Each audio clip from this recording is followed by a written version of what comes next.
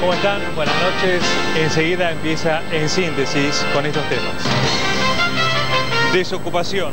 En el tercer trimestre del año la desocupación bajó al 10,2%.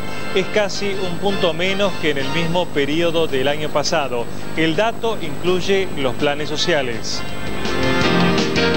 Y además, se normaliza. El Comité Ejecutivo de la AFA confirmó esta noche que el público visitante y los no socios podrán volver a las canchas. Este era uno de los pedidos de futbolistas agremiados para no ir al paro.